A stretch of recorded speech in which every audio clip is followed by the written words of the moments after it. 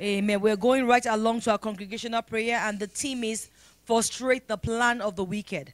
Frustrate the plan of the wicked. And I pray that indeed God will frustrate every plan of the wicked ones against us in Jesus' name. Amen. Amen. And the book of Isaiah 63, verse 7, Isaiah 63, verse 7 says, I will tell of the kindness of the Lord, the deeds for which he is to be praised, according to all the Lord has done for us. Yes, the many good things he has done for Israel according to his compassion and many kindnesses. Yes, I know we have given God thanks, but yet we, I want us to thank him again. Let's thank God for all he has done for us, all He is doing for us, and all he will do for us. Let's thank God for him preserving our lives, for the salvation of our soul, for our families near and far, for, for, for our nation, for our city, for peace, for safety. Let's just begin to appreciate the Lord for the many good things he has done for us in Jesus' name. Father in heaven, Lord, I thank you once again for who you are.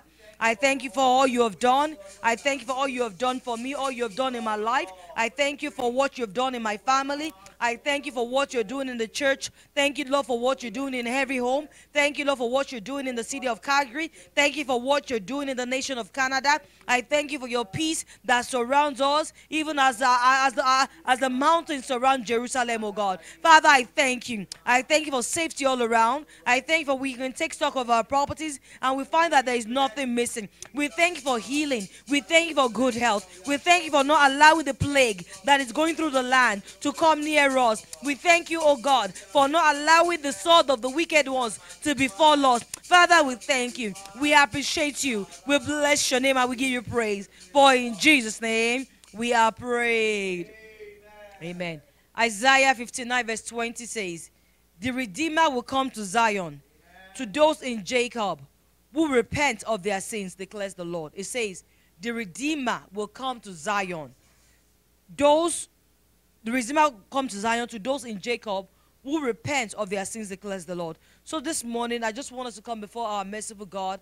Let's ask that He will please forgive us, that He will draw us near to Him, that He will give ear to us, even as we repent of our sins this day in Jesus' name. Shall we begin to confess our sins? Father, in the mighty name of Jesus, Lord, I come to you, Lord. You said, oh God, you draw us near to you, Lord. Father, this morning, Lord, I ask that you draw me near to you, Lord.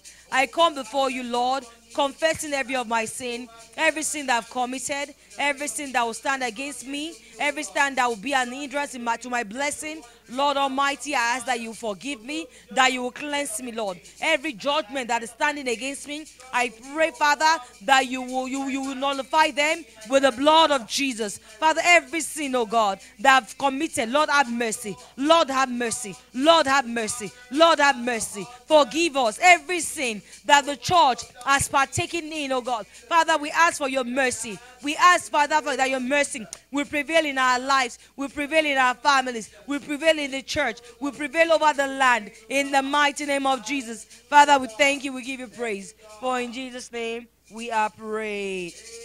Amen. Daniel chapter 2, verse 47 says, The king said to Daniel, Surely your God is the God of gods and the Lord of kings and the revealer of mysteries, for you were able to reveal this mystery.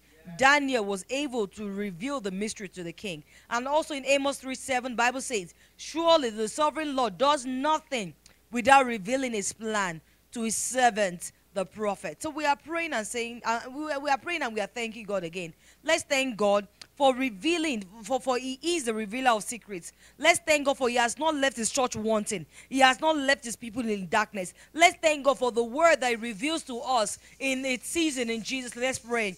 Father, in the mighty name of Jesus, I thank you, Lord, for you are the revealer of secrets. You said you will do nothing without revealing to you, revealing to your servants, for to the prophet. Father, we thank you for giving us the word in season, for giving us the word even out of season. Thank you, Lord, for that which you are set to do, for revealing it to us. And Lord, even as you reveal it to us, we ask for the grace to walk in it, for the grace to manifest, oh Lord, in the name of Jesus. Father, we thank you.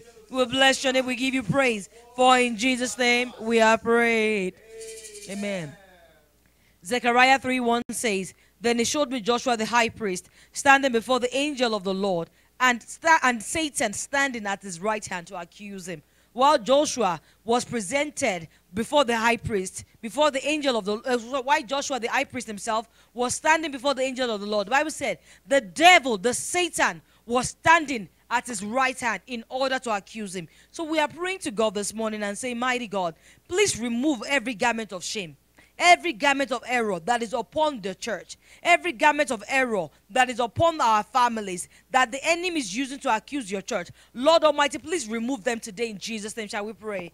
Father, in the name of Jesus, even as you told that angel to remove that filthy garment that was upon Joshua the high priest, Lord Almighty, we come to you this morning. Every sin in our foundation, every error in our foundation, whatever it is that we have done, that the enemy, that Satan is now using to accuse us, Lord, we ask that your mercy will prevail. We ask, Almighty God, that you remove this garment of shame, you remove this garment of reproach, you will remove this garment of mediocrity, you will give, remove this garment of stagnancy, you remove this garment of littleness, that indeed we may walk in the favor, that we may walk in the blessing that you have released upon your church, even now, in the mighty name of Jesus. For in Jesus' name we are prayed. Amen.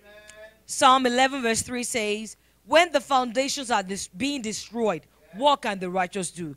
The righteous can do something. They can pray. They can see God's face. So this morning, I want us to call on to God and say, God, the repairer of foundations, please repair the foundation of my life. Please repair the foundation of the church. Please repair the foundation of Jesus' life ministries. Now, in Jesus' name, shall we pray?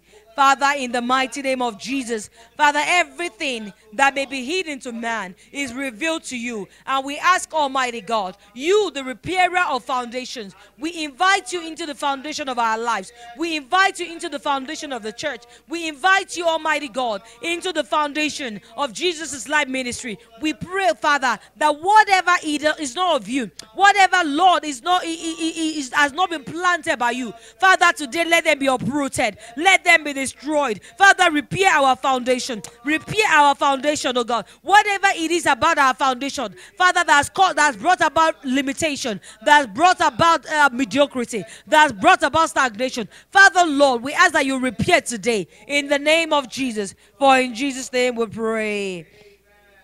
Ephesians 5:27 says, and to present her to himself as a radiant church without stain or wrinkle or any other blemish but holy and blameless. God wants us to want to present us to Himself as holy and without uh, blame. So we are praying and say, My Father and my God, please present your church to yourself. Purge her of every impurities in the name of Jesus. Let's pray.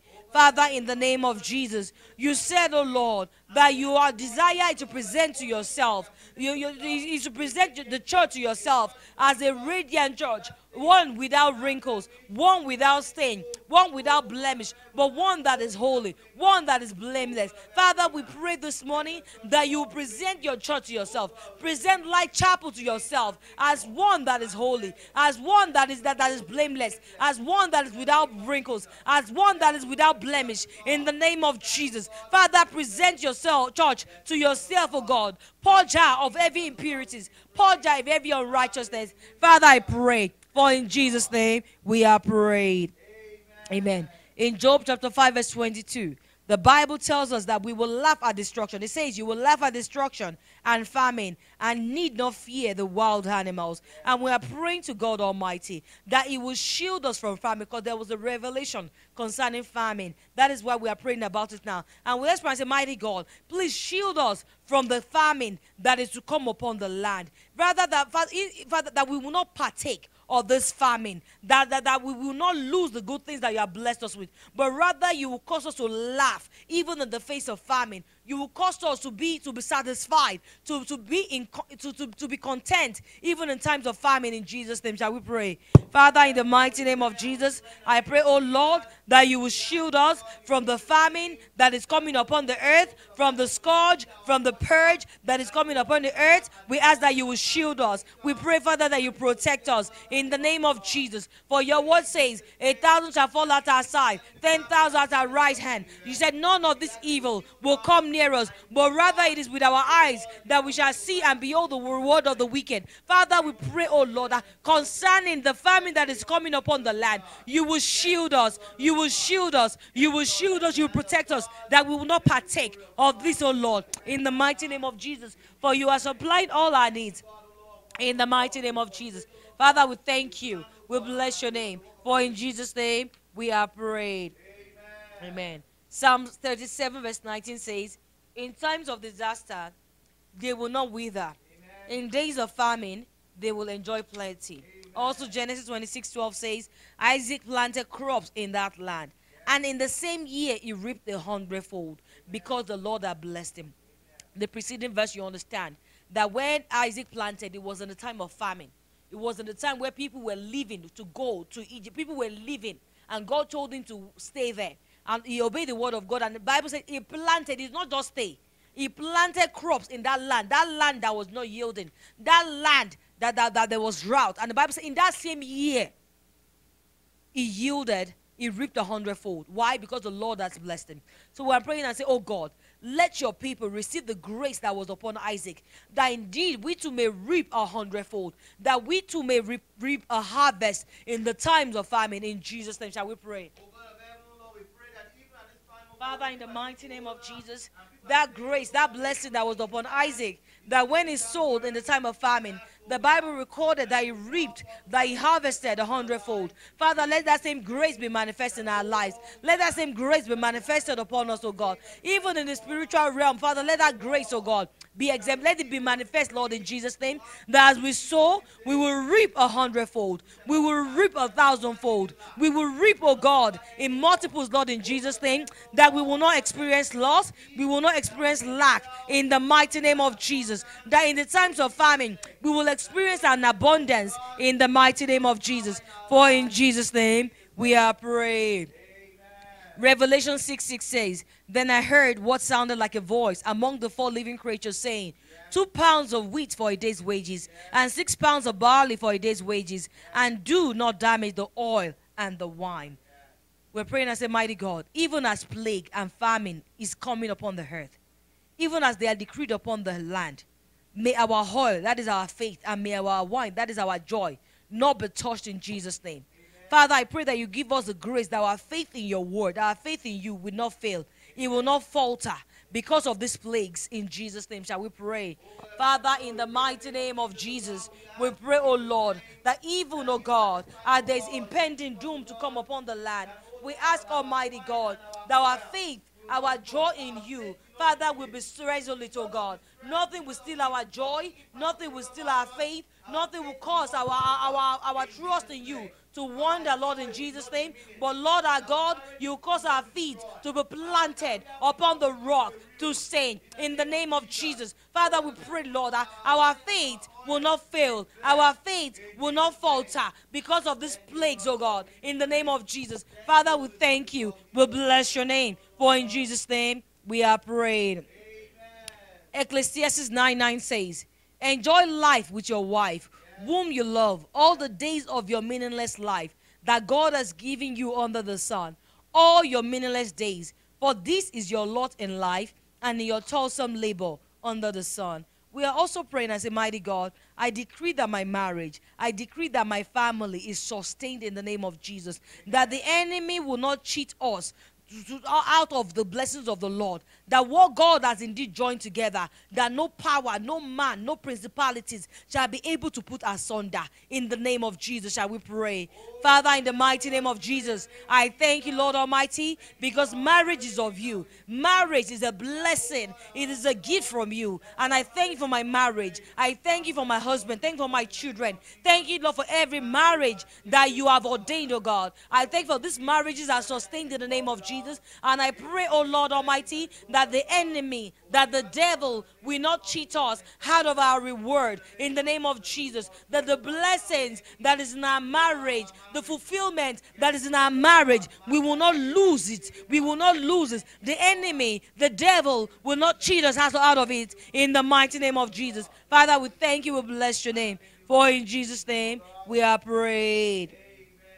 Revelation 7 3 says, Do not harm the land or the sea or the trees until we put a seal on the foreheads of the servants of our God. Until they have that, we also see that in the book of uh, Ezekiel, where God said they should, we should put a mark upon those that are serving God faithfully, trust, uh, you know, that serving God faithfully. Why? So that when plagues will come, so that when famine will come, so that it will not touch them. So we are praying and saying, asking God, God, please mark and seal your people, so that no harm, no famine, no disaster, no divorce, no breakups will come near your people. In the name of Jesus, shall we pray? Father, in the mighty name of Jesus, the Bible says that because I bear the mark of Christ, let no power, let no man trouble me. And Lord Almighty, we ask today, Lord, that you will seal your people with the blood of the Lamb. You will seal your people with the mark of redemption. You will seal your people with the mark of safety. That when evil is upon the land, it will not touch them in the name of Jesus. That when famine comes, when disaster comes, when threats against marriages come, we will stand firm. Nothing will shake us. No evil will touch us. In the mighty name of Jesus, by your mighty hand, Father, you will sustain us. You will uphold us with your right hand of righteousness. In the name of Jesus, Father, we decree today that, Lord, as we carry your mark upon us, no evil shall touch us, no principalities shall touch us, no power shall be able to touch us. In the mighty name of Jesus, Father, we thank you. We bless your name. For in Jesus' name we are prayed.